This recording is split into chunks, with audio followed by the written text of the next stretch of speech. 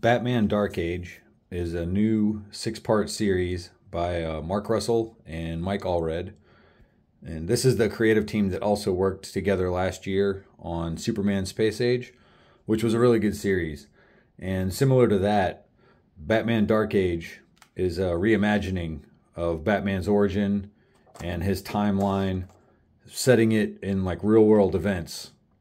And so it's interesting because there's like enough similarities that the story is familiar, but the the writer kind of throws kinks into the narrative that leaves the reader surprised by the twist, and you're kind of guessing uh, when they give you these cliffhangers on this.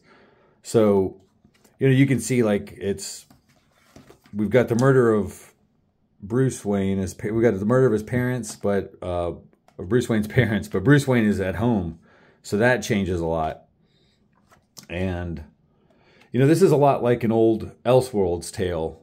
Uh, if you remember those, it was like Red Son, where they'd let the creative team kind of tweak the origins of characters outside of the current continuity.